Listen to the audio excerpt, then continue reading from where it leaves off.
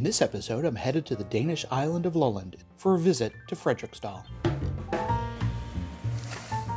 There, I sit down with Harald Krabbe to chat about sour cherries. Harald took his sprawling 18th century farm from wheat, barley, and sugar beets to berries and barrels.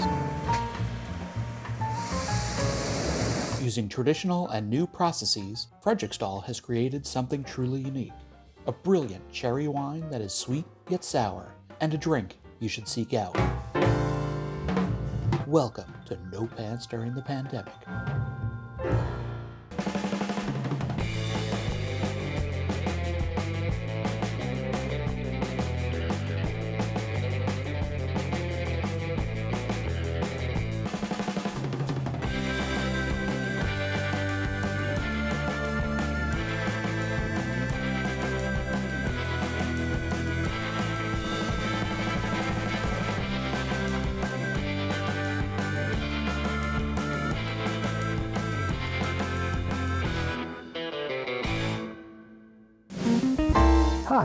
Kevin Brooks, and this is No Pants During the Pandemic.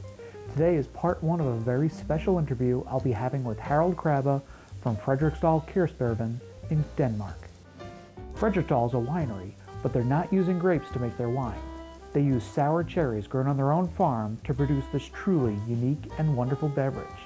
So without any further ado, let's speak to Harald. Hey Harald, how you doing? I'm good, thank you, and thank you for having me. It's real pleasure. The pleasure's all mine. Um, why don't we just jump right in and uh, why don't you tell the nice folks on the interweb uh, who you are? I'm Harald Krabbe from uh, Frederiksdal Cherry Wine here in um, two hours south of Copenhagen. Normally, I ask how people get into you know what they're doing, but um, for you, kind of, I guess the story of you getting into cherry wine begins with the Frederiksdal estate. It You know, does. Can you tell me a little bit about it? I live in a house from 1756. It was built originally. But the estate actually goes back to the 1300s, I think. Where we're situated is actually in a very, you could say, strategic point. We're quite close to Germany, and from way back to the Vikings, year 800, the population came up from southern Europe and they were moving up north. So when they were sailing from Germany, they landed on Frederiksdal. So obviously, this is where the king he would have his harbor, and this is where he would collect the taxes. This is where the economy is. This is where everything grows from. So this is an important place. We have data from 1300 saying this was actually called Grimstead. Then it was renamed f- from uh, some some counts which had vast amount of land on this island. They, I think they owned almost the whole island, Lolland. And then as time goes, you know, it gets split up and gets split up, and and it's just divided in many many pieces. Besides enormous, what's what is the house like inside? Ah, I should have taken you. Next time you come, I'll show you. Deal. So the style is called Baroque. Well, it's just a big house. Uh, obviously, there are some you know nice features with with what do you call that plaster in in the ceilings. Yep. A lot of in French, it's a list these uh, candle candeliers. Oh, chandeliers, yeah. It's just a bit big house. I mean, it's, uh, my job is to keep it up to date, that it doesn't rain in, and uh, that's my national heritage debt. This house, because I actually have to maintain it by law. It's insanely expensive. We have just been so lucky to do a major restoration on the works. We've just finished the, the, the roof and the windows and painted it. So now I know I can leave it to my children in a good good state. How did it come into your family? My grandfather, he was an engineer and he got an illness and the doctor said to him you can't stay an engineer just sitting at the table he needed to have fresh air and move so he became a farmer and he was very innovative and he was actually obsessed with the thought of having one of these big old farms so he had a small farm but he was very smart with money and then he ended up actually selling his small farm and then buying this huge farm this was in 1957 i always keep thinking of him how inspiring that was. And today, I, I think I owe him a lot. Just, you know, the, the last day we painted the manor, we, we thought, okay, this is for his sake, we are, we're doing this. And then my father took over the farm and he ran it that, the way he wanted to run it. My father was very involved in farming politics. The lucky thing was that my father planted a lot of cherry orchards in order to make juice. And then he passed it on to you. I inherited the farm from my father in the year 2000. And when I started, I changed a lot of things. And uh, actually, behind me, as you can see, uh, we're in a in a stable. It's a milking parlor, which I built when I was very young. It was really hard work, and we simply couldn't make money on this hard work making milk. So I, I sold all the cows and transferred this building into a winery. I actually merged the farm with five other farmers in a sharing model where our five farms are just being brought together and we just pretend it's one farm. And all the machinery will just go around and working the fields as efficient as they can. And we just share whatever's left in the shares we have put in to this company, which is just equivalent to the, the acreage we have in, in this farm. What's the acreage and what do you grow there? There is about a thousand acres on this farm. 10% of my land is cherry orchards. The other 90% is wheat, barley, sugar beet, grass seed, spinach. So it's more traditional for this area uh, common uh, crops. But it's just a bulk production, and I have no saying on the price. I mean, I just get a lorry and then I get it out of the way. But with the cherries, I have something, you know, I can feel it, I can taste it. And what's really important to me also is that by planting trees, I can do something for the world. If every farmer just put trees on their land, we could we could save a lot for the world. You're on the island of uh, Lolland, which is, which is in the Baltic Sea, right? What's that like? The land is very fertile and the climate is quite mild. And when I say mild, I would say it's something like England. England is a little bit warmer than us, but what's really important for us is that we have sea all around us and the water is quite shallow. And that means that the, the sea is like a heating bank. So the sea is heated up and that makes the winters mild for us. And this is quite important for us because in spring, when we have cherry blossom, we just don't need uh, frost because that will spoil the whole harvest. So you needed to make the farm more productive to, among other things, restore the house. So how does the idea of making cherry wine pop into your head? It's not my idea. Really? The big turn in my life was meet the meeting with uh, Jan and Morten, my two partners and co-founders of this company. Jan is a chef. He has a restaurant, and Morten he's a journalist, and he's written a lot of books about wines in particularly south south of France. Okay, so how did they come up with the idea? Morten came here by total coincidence one day in 2006. He was doing some research because he was working in a restaurant and he was trying to source local food. And Morten, he said, Hey, show me your farm. So we ended up jumping into the car and having the trip around the farm. And then he saw these cherry trees and he said, Oh, wow, what's this? And then he, he ate them. And that was at the time when I had cows as well. And I said to him, I can't do this. It's just too expensive having these trees. I don't make money on this. This is a typical farming way of thinking that you just want to rationalize all the time in order to, every time you rationalize, you have more for yourself. That's how farmers survive. He panicked completely. This is something he tells me five years after this coincidence. But he said, Why don't we make cherry wine? Well, I liked him a lot. I've just seen him for 30 minutes, but I said, Okay, let's do cherry wine. That's it? Yeah. He calls Jan, which is his friend. Jan is a chef, and he's a very, very good chef. He was one of the most renowned chefs before, you know, Noma, all this thing. He was educated in the French classic uh, restaurant scene. Mort, he calls up Jan and he says, Hey, we want to make cherry wine. Are you into that? And they sort of pulled me into the world of wine. For two years, these two guys, they were just hitting my head and saying, Hey, you have to learn what good taste is. I do have a French mother and I've brought up with extremely good food. So the minute they just started pulling me into this world, and I had a very, very good trip with Morten in 2008, two years after we met.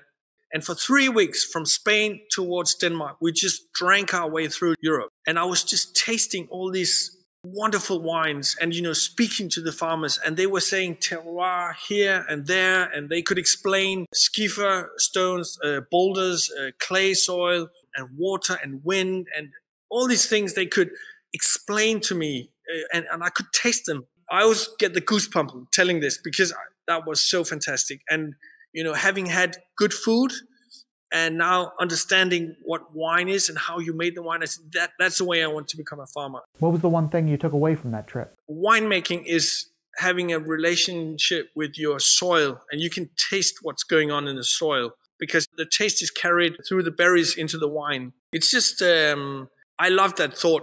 That's great. So, what was the next step? I said, okay, Jan and Morten, okay, I want to do this and I want to do this 100%. I started rebuilding this building I'm in now, and it became our winery. Slowly, we started building up, buying barrels with 50 one year, 20 another year, and, and then got more and more hectoliters in. And at the same time, we started working really hard on how to grow the cherries. And from an economical perspective, it's quite exciting to see what we can do with the winery because on the 10% of cherry fields we have, our turnover is the same as the other 90%. We have a long way to go yet still with the winery before we are full running. Our problem today is telling the world, serving the wine and, and letting them know that this is something they shouldn't miss out on in, in order to have a fun life. The end product, yes, it's cherry wine, but you've kind of invented a whole other thing. What we're doing hasn't been seen before in the world. I think most people they would think of liqueurs when you say cherry wine, and it, it's not a liqueur. To define the difference between these products is that in a liqueur you have a juice and you add in an alcohol. So you take a clear spirit like a vodka and you add it in your juice, and you can do that. Kahlua is uh, coffee, Grand Marnier is orange, and you have this very famous, it's called either Kijafa or Cherry Heering. My guess is that many bars in the US has still a bottle of Cherry Heering. And unlike the cherry liqueurs out there, your wine is made with 100% cherry juice. Yes, yes. I just wanted to put out there that there's nothing else added. We started off by just harvesting our juice, we pressed it, and then we sat down and waited. We did not want to add in yeast. We just want spontaneous fermentation. Very cool we find that selecting a yeast, we get a very one dimensional taste.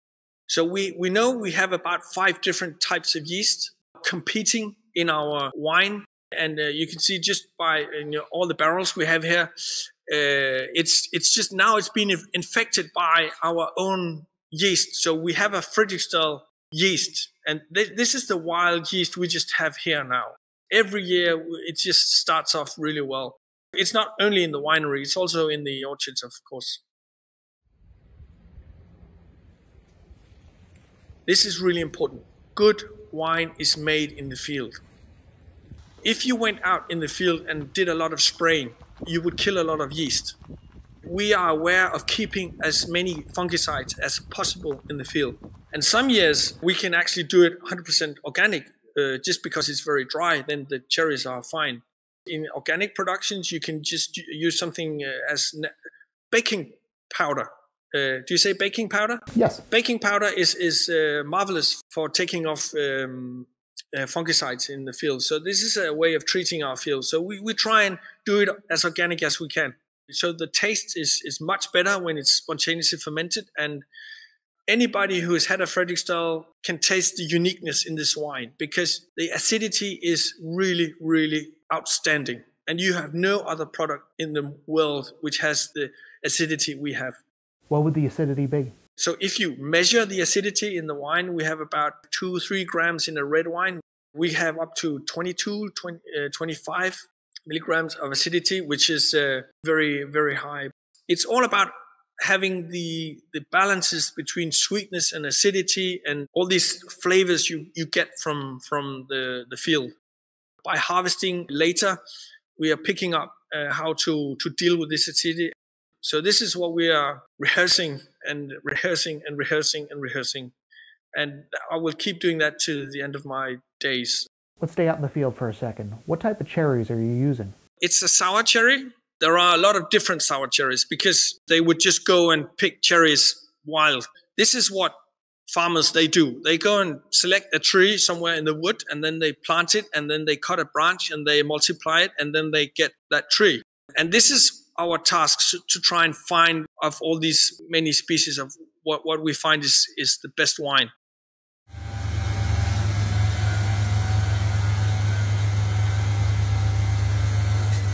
When do you harvest them? We, we start usually last week of August and then we harvest for the next 10 days. But if, it, if the weather's very good, we will just prolong the season and we will just wait until September, even October sometimes. But that does do require that the weather's very good and the quality of the cherries will maintain good.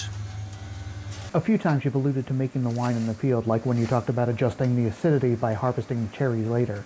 Can you expand upon the idea? When you make beer, you buy something uh, one day and you mix it, and then you have a beer. Whereas we make our wine in the field, and then when it comes in the winery, it's a very subtle, subtle thing. So you're saying that unlike in brewing, where you buy your ingredients and play with the recipe to get the beer where you'd like it to be, as a winemaker, you affect the most change in the final product before you get into the winery by doing things to the trees and the fruit. Yeah. When you're a winemaker and you taste your wine, this is the thing. How can I balance the, the grapes so they taste really well? And if I had to make another taste, I would have to do it in the field. When you have a, grape field, you have a certain amount of square centimeters leaf per bunch. And you regulate the amounts of sugar in the bunch by cutting leaves during the season because the leaf is picking up the sunshine and the, transfers this energy into sugar, which goes into the bunches. And the amount of sugar is equal to the amount of alcohol. As a winemaker, you know where you want your wine to be with a certain ABV in order to have a good flavor. In our case, we want 13, 14 in ABV. So we do a lot of pruning on our trees in order to get the balance. So it's really very unlike the beer where you design your your your beer by adding things in. And who's drinking Frederiksdal? Is it wine drinkers or craft beer fans? Our market is actually more the beer market rather than the wine market because wine people tend to be more conservative. They're a bit reluctant to new tastes. I do feel that the wine world and the beer scene is merging. And I think we are actually sort of a clutch in between because we're a little bit both. Yeah, you're pushing from the wine side while brewers like Jester King, Allagash, and the Lambic producers are pushing from the beer side. But you're right, the craft beer drinkers are a bit more adventurous while the wine drinkers tend to be stuck in their ways. But, but then you have a new type of consumers, uh, which are the, the natural wine scene. And that's yeah fits right into the beer scene. They're quite open to new crazy stuff, you could say. And how's the fine dining sector responded to Frederiksdal? The gastronomical scene is really embracing us. We sell wine in France in a three star Michelin restaurant. And, and that's to me, you know, also being French and, and knowing how crazy they are about pairing and understanding food and and uh, you know it's it's a religion. At the same time we have a new world where you know it, it's almost anything uh, new is exciting. But you just have these old you know i call it altars or whatever you call it. It's it's yeah religious people. And it's just foodies who really enjoy. The surly is with a blue cheese with a French blue cheese is absolute stunning, or with some chocolate. In that way, I, i am very proud of what we do in that sense. That because I have, you know, you can have a taste and you can nerd into what you do, but having acknowledgement from other people does is important too. A good chunk of what you do has to be, you know, teaching people what you do. I mean, because I mean, even as I sit here, you know, sit here sipping it, there is sweetness in it you know, from the cherry, but it's not a sweet drink. I use the word rich for how it tastes more than anything else. And earlier you said unique, and truly it is a unique beverage. You know, but how do you go into a restaurant, a bar, uh, a distributor, an importer, and get them to embrace this? When I pour a glass the first time to someone, I say, you just have to erase anything in your head you have of any gastronomical sense. You're about to place something you've never had before in your gastronomical mind.